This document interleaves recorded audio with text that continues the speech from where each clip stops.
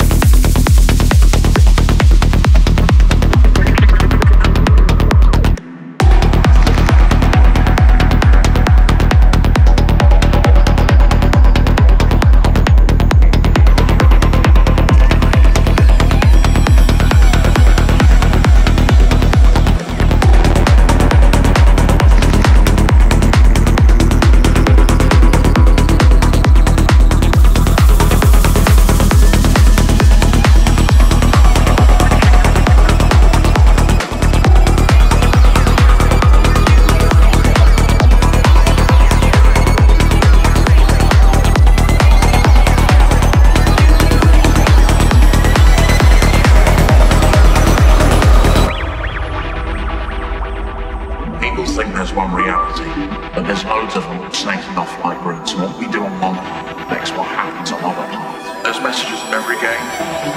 Like Pac-Man, you know what PAC stands for? PAC.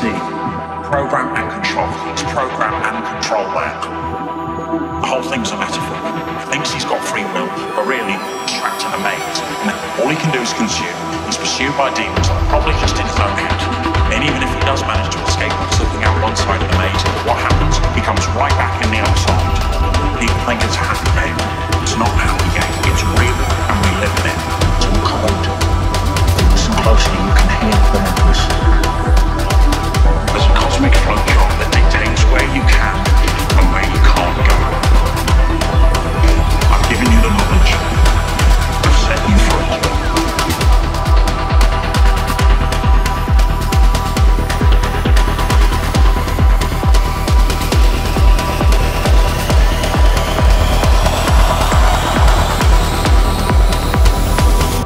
program and control.